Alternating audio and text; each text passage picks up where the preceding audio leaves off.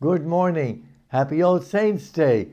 It was a special day for me because I was educated and ordained from All Hallows College. And so the beautiful gift today is found in the first letter of St. John. Beloved, we are God's children now.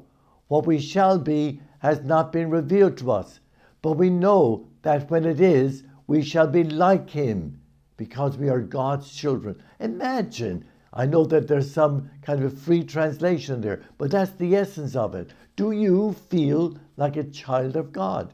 Do you feel like that you're in the communion of saints? What a beautiful gift it is for us to reflect on that. Imagine those loved ones who have gone before you, and you are convinced and know that they're in the, fa- the presence of the face of God, who is for us everything and all things, and whatever we long for, whatever we desire, is in the God of life and love.